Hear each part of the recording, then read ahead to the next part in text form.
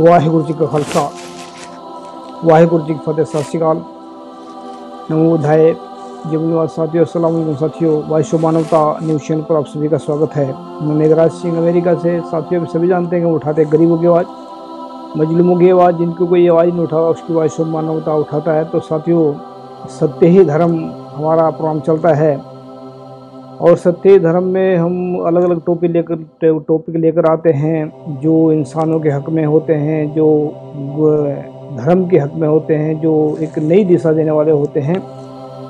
आप सभी ने भी सुना होगा, हमने भी सुना है कि कुरान में जो लिखा है, वह गलत लिखा है। काफ़ी मतलब हिंदुओं को या दूसरे धर्म को, लोगों को उन्होंने काफर कहा है।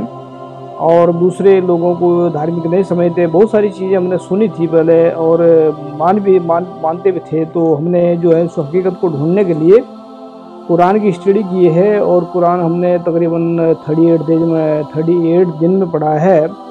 तो हमने उस पर आर्टिकल भी लिखा है, एक आर्टिकल हमने डाल दिया उसमें फेसबुक पर और उसमें हम गारंटी के साथ में कहते हैं कि कुरान में धर्म के खिलाफ कुछ भी नहीं लिखा हुआ है। तो हम इसका तो आज का टॉपिक हमारा ये रहेगा कि अगर कुरान में धर्म के खिलाफ अगर कोई भी लफ्ज निकलता है तो हम उसको अगर कोई निकालता है तो उसको हम 21 लाख रुपए इनाम के देंगे। अगर धर्म के खिलाफ उसमें कोई शब्द ना निकला तो उसके हम 11 लाख रुपए जुर्माने का रखेंगे। तो हमने इसके ऊपर आर्टिकल लिखा है। वो आर्टिकल हम आप लोगों को पढ़कर सुना देते हैं। अगर थोड़ी अगर विचार चर्चा करना चाहते हैं तो इसमें जो पूरा आर्टिकल पढ़ें, उसके बाद में विचार चर्चा करने के लिए आए हैं। क्योंकि विचार चर्चा एक ज़रूरी है और बातें रखनी बहुत ज़रूरी है। तो हमने इसमें लिखा है, शुरुआत में लिखा है, पवित्र कुरान में धर्म के खिलाफ एक भी शब्द नहीं लिखा हुआ है और ना ही किसी धर्म, धार्मिक इंसान के खिलाफ कुछ लिखा हुआ है। अगर किसी धार्मिक इंसान को ऐसा लग रहा है कि पवित्र कुरान में धर्म के खिलाफ या धार्मिक इंसान के खिलाफ लिखा हुआ है तो उसको हम विचार चर्चा में बुलाना चाहते हैं। अगर विचार चर्चा में ये, वह साबित कर देते हैं कि पवित्र कुरान में धर्म के खिलाफ कुछ भी लिखा हुआ है या धार्मिक कुछ भी लिखा हुआ है, धार्मिक इंसान के खिलाफ तो उसको हम 11-21 लाख रुपए इनाम के देंगे। अगर वह ये साबित नहीं कर पाए तो हम उनसे 11 लाख रुपए जुर्माने के देंगे। तो इस विचार में इस विचार चर्चा में सिर्फ़ धार्मिक लोग ही आ सकते हैं, क्योंकि इसमें पूरा आर्टिकल लिखा हुआ अगर आर्टिकल अधूरा पढ़ कर आएँगे तो ग्यारह लाख रुपए जुर्माने के ठूकेंगे तो पूरा पहले आर्टिकल को देखिए पहले, उसके बाद में विचार चर्चा बढ़ाइए आने के लिए। तो मैं इसमें अगर लिखा है कि आदरणीय प्यारे साथियों, मैंने पवित्र कुरान को अड़तीस दिन में अट्ठाईस जून को रात को स्टार्ट किया पढ़ना और पढ़ना शुरू किया। मैं तकरीबन पंद्रह बीस पन्ने पढ़ते रहा रोज़ाना और ये तकरीबन चार अगस्त को चार बजे पवित्र कुरान को मैंने पढ़ करके पूरा किया। इसमें मेरे मेरे तकरीबन थर्टी एट मतलब थर्टी एट दिन लगे हैं। तो पवित्र कुरान को पढ़ने के पीछे मेरा मकसद क्या था? इसके, पवित्र कुरान को पढ़ने के पीछे मेरा मकसद ये ये नहीं था कि मैं कुरान की कोई तारीफ़ करूँगा या कुरान की कुरान की कोई मैं बेइज्जती करूँगा तो पवित्र कुरान को पढ़ने के लिए मेरा मकसद सिर्फ़ एक, इसके पीछे जो मकसद था वो मैं आपको सभी सामने रख देता हूँ कि हमने किस मकसद से इसको कुरान को पढ़ा। जैसे कि नंबर वन, कुरान में दूसरे धर्मों के खिलाफ बहुत कुछ लिखा हुआ है, ऐसा हम सोचते थे पहले और पढ़ते भी थे और सुनते भी थे मतलब हमारा इस पर यकीन भी करते थे हम पहले। दूसरा जो है दूसरा नंबर नंबर दो कि मुसलमान दूसरे धर्मों के लोगों को जैसे हिंदू, बौद्ध, ईसाई, जैन, सिख, अन्य धर्मों के लोगों को काफर समझते हैं। नंबर तीन, पूरा मुसलमानों को जिहाद के नाम पर आतंकवाद फैलाना सिखाया जाता है। इत्यादि, ये हमने बातें सुनी थी और पहले पढ़ी मतलब ऐसे सुनते थे, लेकिन इस हकीकत में क्या निकला है? और तीन बात हमने अपनी तरफ़ से, हमने हमने अपनी तरफ़ से भी इसमें ऐड की हैं। जैसे कि कि नंबर वन कुरान जो है कुरान का पैगाम सिर्फ़ मुसलमानों के लिए ही है। और नंबर दो, पवित्र कुरान सिर्फ़ मुसलमानों की ही जागीर है, ऐसा हम समझते थे पहले। नंबर तीन, नबी मोहम्मद साहब का पैगाम केवल मुसलमानों के लिए ही है, ऐसा हमारी सोच थी पहले। तो हमने उसके बाद में क्या किया? कुरान पढ़ने के बाद में मुझे ऐसा महसूस हो रहा है या ऐसा लग रहा है कि जो मैं उदाहरण के तौर पर बता रहा हूँ, ये मुझे ऐसा महसूस हो रहा है जैसे कि नंबर वन कुरान धर्म मतलब जो कुरान में कि धर्म के खिलाफ कोई भी लव, ये वो जो तीन हमने पहले दिए थे जो आंसर जो पॉइंट दिए थे, उनका आंसर आ रहा है इसमें। कुरान में कि धर्म के खिलाफ कुछ भी शब्द नहीं लिखा हुआ है। नंबर दो मुसलमान कुरान में ऐसा कहीं भी नहीं लिखा हुआ है कि वह सिर्फ़ मुसलमान ही जो धार्मिक होते हैं, बाकी सब काफर होते हैं, ऐसा कहीं भी नहीं लिखा हुआ है। नंबर तीन जो है काफर उनको कहते हैं जो मतलब सच्चाई को छुपाते हैं और दूसरों के, गरीबों के ऊपर, मजलूम, मजलूमों के ऊपर जुल्म करते हैं, उसके हिसाब से, कुरान के हिसाब से वे लोग काफर हैं, चाहे वो मुसलमान है, सिख है, जैन है, कोई भी है। जो सच्चाई को छुपाते हैं और गरीबों के ऊपर जुर्म करते हैं। नंबर तीन, पवित्र कुरान के मतलब हिसाब से जो जिहाद करते हैं, उधर जिहाद जो है मतलब हमने तो कुछ और सुना था, लेकिन जिहाद का मतलब हमने उसमें पढ़ा, कुछ और पढ़ा है। तो जिहाद में क्या नंबर, हमने पाँच नंबर दिए हैं इसमें कि अपने अंदर से सभी प्रकार के अवगुणों को ख़त्म करना, इसके खिलाफ जिहाद करना। नंबर दो है, एक रब के, एक रब के ऊपर पूरा भरोसा करना। नंबर तीन, अपने जमी जीवन में अपने अच्छे काम करना। नंबर चार, अपने आप को और दूसरों को बुरे कामों से बचाना। नंबर पाँच, अपने मन में अल्लाह का डर रखना मन में अल्लाह का डर रखना या उसके विश्व के सच्चे, उसके हिसाब से सच्चाई और ईमानदारी फैलाना, ये जिहाद करते हैं मुसलमान। अब बोलो कि हमने सुना क्या था पहले, लेकिन निकल क्या रहा है? ये हमने पूरा उसको पढ़ कर देखा है। ऐसा हम हवा में बात नहीं छोड़ रहे हैं। फिर हमने 21 लाख रुपए इनाम की भी रख दिया। अगर कोई इसमें खिलाफ के लगता है किसी को तो आ जाए मैदान में। तो आगे इसमें है कि जो नंबर दो जो हमने जो पहले बोला था कि कुरान क्या मुसलमानों की जागीर है। उसका आंसर ये है मुसलमानों की कुरान जागीर नहीं है, ये सबके लिए सबके लिए बराबर है। नंबर दो, पवित्र कुरान मुसलमानों की कोई निजी मतलब वो जागीर नहीं है, ये उससे इनके लिए, सबके लिए है। नंबर तीन जो है, जैसे कि मतलब फॉर एग्ज़ाम्पल दे रहा हूँ कि कुरान क्यों नहीं है उनकी जागीर मुसलमानों की और दूसरों की क्यों है?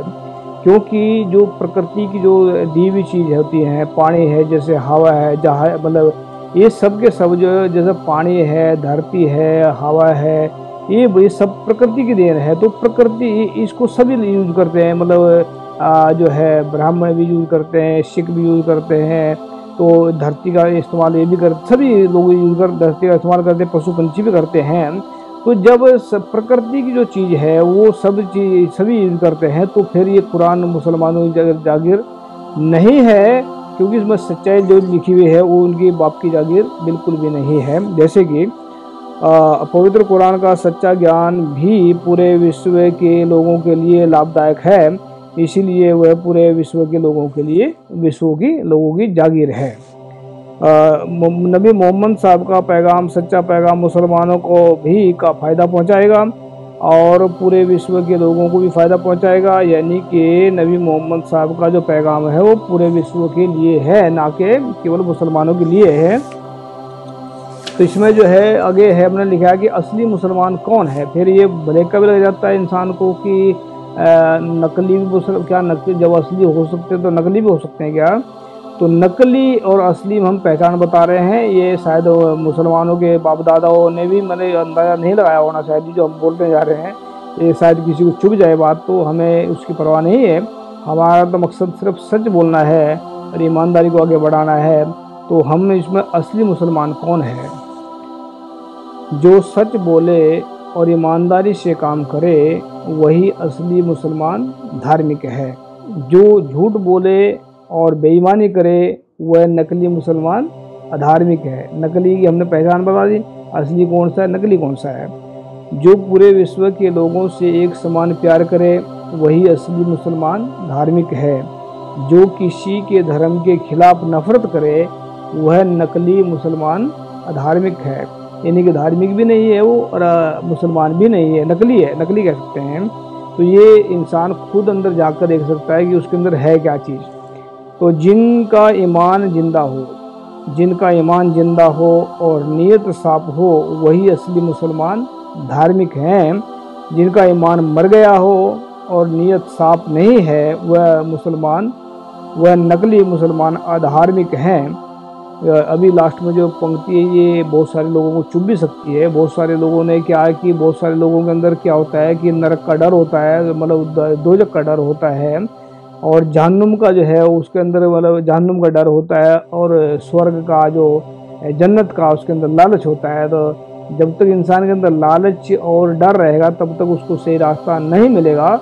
हम ये गारंटी के साथ कहते हैं। तो हमने इसमें लिखा, जो मोहम्मद साहब के सच्चे पैगाम को सचमुच ही जीवन में अपनाएँगे, वह नकली भी असली मुसलमान बन जाएँगे। यानी कि सच्चाई और ईमानदारी को अगर नकली मुसलमान जो हैं, अगर वो भी अपनाएँगे वो सच्चे मतलब असली असली मुसलमान बन जाएँगे फिर अगले लाइन जो है, जो मुसलमान जहन्नुम का डर और जन्नत का लालच त्याग देंगे त्याग देंगे, वही वही मुसलमान जन्नत के असली हकदार होंगे।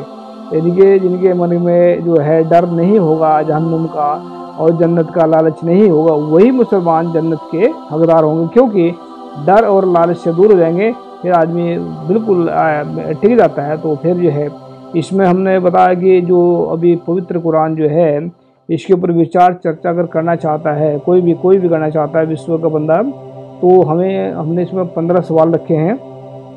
पंद्रह सवाल इसमें सामने दे रहे हैं हम, और पाँच सवाल मैंने इसमें रखे हैं, गुप्त रखे हैं। अगर कोई भी करना चाहता है तो हमें इन सवालों का जवाब देना पड़ेगा पहले। उसके बाद ही जो है हम कुरान के ऊपर विचार करेंगे, क्योंकि धार्मिक धर्म का मसला है, कोई छोटा मोटा मसला तो नहीं है। तो धर्म के मसले के ऊपर धार्मिक सवाल पूछेंगे, उसके अंदर धर्म है भी या नहीं है, कौन सामने आएगा, कौन नहीं आएगा तो बाद की बात है। लेकिन हमारा मकसद, अपना ओपिनियन रख रहे हैं, हम अपना पॉइंट रख रहे हैं कि हम इन लोगों से सवाल जवाब करेंगे, ऐसे सवाल करेंगे। और ये जो है, अगर इन सवालों का जवाब दे दिया है, फिर कुरान के ऊपर बात की जा सकती है। जैसे कि धर्म का नंबर वन, जो पंद्रह सवाल जो बोल रहा हूँ मैं पंद्रह सवाल हैं, फिर पाँच इनमें गुप्त भी हैं, पाँच उस वक्त ही बोलेंगे हम जिस वक्त कोई आएगा सामने। धर्म का क्या अर्थ है या धर्म की क्या परिभाषा नंबर वन सवाल ये है। नंबर दो, विश्व में कौन सा धर्म छोटा है और कौन सा धर्म बड़ा है? नंबर तीन, विश्व के अंदर धार्मिक इंसान की कैसे पहचान कर सकते हैं? नंबर चार, धार्मिक इंसान के अंदर कौन कौन से गुण होने चाहिए? नंबर पाँच, धार्मिक इंसान को किन किन बुराइयों से दूर रहना चाहिए? नंबर छः, धार्मिक, धर्म की सॉरी नफ़रत की उत्पत्ति इंसान के अंदर किन किन कारणों से होती है? नंबर सात, प्यार और अपनापन इंसान के अंदर कैसे पैदा हो सकता है? नंबर आठ, क्या इंसान जन्म से ही धार्मिक होता है? या बाद में धार्मिक बनता है? धर्म, नंबर नौ, धार्मिक लोगों, लोग ही धर्म को छोड़कर नास्तिक बन गए हैं। इसके पीछे क्या कारण है? पूरे, नंबर दस, पूरे विश्व के अंदर ज्ञान कितने प्रकार के होता है? नंबर ग्यारह, पूरे विश्व में कितने प्रकार के अंधे लोग होते हैं? नंबर बारह, पूरे विश्व के इंसान एक रब के, रब ने बनाए हैं या अलग अलग रब ने बनाए हैं? नंबर तेरह, पूरे विश्व का हर हर व्यक्ति दूसरों के भले के लिए कैसे काम कर सकता है? नंबर चौदह पूरे विश्व के लोग कैसे जिएँगे अमन शांति से ज़िंदगी, आज़ादी से ज़िंदगी? नंबर पंद्रह पूरे ब्रह्मांड को बनाने वाला रब एक है या अनेक रब हैं? उदाहरण देकर समझाए। पाँच सवाल हमने गुप्त रखे हैं इसमें और पाँच सवाल हम उस वक्त पूछेंगे जो कोई सामने आकर के डिबेट करेंगे। और विश्व के किसी भी टीवी चैनल पर, किसी प्लेटफार्म पर भी ये विचार हो सकती है। अगर हमारे टीवी टीवी चैनल पर आना चाहते हैं वाइस मानवता पर आना चाहते हैं तो आ सकते हैं, बेफिक्र होकर आ जाएँ। हारना और हराना हमारा मकसद नहीं है। हमने नोट में लिखा इसमें है कि ये जो ऊपर पंद्रह सवाल दिए गए हैं, इन सवालों का जवाब सिर्फ़ धार्मिक इंसान के पास ही होता है। तो हम इन सवाल का जवाब लेंगे। पहले उसके बाद में नोट में लिखा है। पवित्र कुरान के अंदर धर्म के खिलाफ कोई भी बात नहीं लिखी है। और ना ही किसी धार्मिक इंसान के खिलाफ लिखी है। तो ये हमने नोट में नोट में दे रखा तो अगर किसी को ऐसा लगता है कि इसमें धर्म धर्म के खिलाफ कोई बात लिखी है, या धार्मिक इंसान के खिलाफ लिखी है तो उसको हम इक्कीस लाख रुपए इनाम के देंगे, जो साबित करेगा, और जो नहीं साबित कर पाए, उसको हम ग्यारह लाख रुपए जुर्माने के ठोकेंगे। हारना और हराना हमारा मकसद नहीं है। ज्ञान सीखना और सिखाना है। तो नोट टू में लिखा हमने इसमें कि अगर कोई हारना चाहता है या हराना चाहता है, उसके लिए हम तैयार हैं। अगर कोई भी, कोई मुसलमान प्रचारक मुस्लिम प्रचारक, इस विचार चर्चा में हमारा साथ देना चाहते हैं तो उनको भी हम विचार चर्चा के लिए आमंत्रित करते हैं। तो साथियों, ये हमने लिखा था आर्टिकल भी लिखा फेसबुक पर डाल रखा है। बहुत सारे लोगों के कमेंट आ रहे हैं इस पर बहुत सारे जो है, जो हिंदू माइंडसेट वाले जो लोग हैं, वो हमें कह रहे हैं कि तुम्हें किन आतंकवादी संगठनों ने कितना पैसा दिया है? और कितना कुछ खेला। बहुत सारे लोगों के दिमाग में ऐसी बात बैठी होगी कि हमें पैसे दे करके किसी ने लिखवाया है या किसी संगठन ने पैसे दे करके हमसे ये बात करी है या ऐसा बहुत सारे सोच रहे होंगे। हम इसको क्लियर कर देते हैं। हम क्लियर इस करके करना चाहते हैं ताकि आने वाले वक्त में हमें सामने कोई कहने की हिम्मत ना रखे। हिम्मत तो रखे, लेकिन सबूत के साथ रखे हिम्मत। ऐसा गलत इल्ज़ाम लगाने से पहले गलत इल्ज़ाम अगर लगा भी देता है कोई किसी के ऊपर तो उसको इल्ज़ाम जिसके ऊपर लगा, उसको नहीं बिगड़ता कुछ भी, बिगड़ता उसी का जो लगा रहा है, क्योंकि बिना सबूत के कोई भी बात सही नहीं होती। अगर सबूत है तो सामने रखना चाहिए, पूछना चाहिए, सवाल पूछने चाहिए, सामने रख करके हम इतना कहना चाहते हैं कि जिन लोगों को ऐसा लग रहा है कि हमने किसी मुसलमान संगठन से या किसी आतंकवादी संगठन से या किसी से भी हमने कोई भी पैसा लिया हो तो हमारे, हम हम ये कहना चाहते हैं हम अपनी सफ़ाई नहीं दे रहे कि हम किसी को साफ़ मन से बात बोल रहे हैं कि हम ऐसा नहीं कर सकते। लेकिन हम ये कहना चाहते हैं कि विश्व के अंदर जितने भी धार्मिक लोग हैं, धार्मिक लोग नहीं छोड़ो, धार्मिक को छोड़ो, विश्व के अंदर जितने भी अमीर लोग हैं, जितने भी लोग अमीर हैं, अगर मैं अपना धन, दौलत, गाड़ियाँ, हवाई जहाज़, जब भी जो भी उनके पल्ले में है, अगर वो सब कुछ हमारे नाम भी कर देते हैं, और वो किसी गलत बंदे के हक में हमसे कोई एक पंक्ति लिखवा, लिखवाना चाहते हैं तो हम हर किस, बिल्कुल भी एक पंक्ति किसी के नाम नहीं लिखेंगे, क्योंकि ये हमारी मर्ज़ी नहीं है। हम किसी की मर्ज़ी के खिलाफ, हम क्यों लिखें किसी की मर्ज़ी से? हमारा मकसद क्या है कि जो सच्चाई दिखती है, हमें वो हम लिख देते हैं, चाहे वो किसी को हजम हो ना हो। एक गारंटी के साथ में गए पूरे विश्व के अमीर आदमी भी अब धन दौलत जितना भी पिया पूरे विश्व की धन दौलत भी हमारे सामने आ जाएगी तो भी हम किसी के मतलब किसी के कहने से एक पंक्ति भी नहीं लिखेंगे। चाहे हमारी इसमें जान भी चली जाए, चाहे जो मर्ज़ी हो जाए तो ये अब समझ गए होंगे हम किसके कहने पर किसके कहने पर लिख सकते हैं और किसके कहने से हम ये कर सकते हैं। हम खुदा का, वाहिगुरु का, अल्लाह का, उसी का प्यार है, उसी के साथ में है, और उसी, वो जो हमसे लिखवा देता है, हम लिख देते हैं। हमारा मकसद इतना ही है कि हम सच लिखते हैं, बस इतना है। अगर किसी को लगता है कि धर्म के खिलाफ लिखे हैं तो आ जाएँ। मोस्ट वेलकम और किसी भी प्लेटफॉर्म पर हमें बनाना चाहते हैं तो हम तैयार हैं। तो नेक्स्ट एपिसोड में मिलते हैं। आज के लिए इतना ही। वाहिगुरु जी का खालसा। वाहिगुरु जी की फतेह। सत श्रीकाल असलम जय जोहर